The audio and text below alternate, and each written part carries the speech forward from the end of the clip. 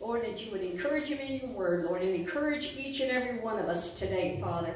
As we go our separate ways, Lord, help us to be in your word and look to the cross today, Father, and to know, oh God, what our future holds is, as long as we're with you, Father God. That's where our future lies, is with you, Father God. And we pray, Father, for a blessing upon the offering, Lord. Bless those that have to give, Father.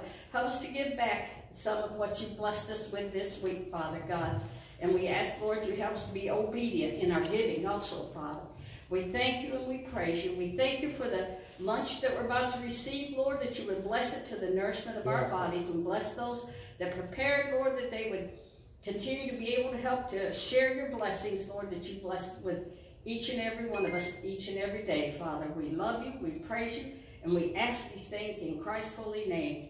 Amen. Amen. Amen. Thank you.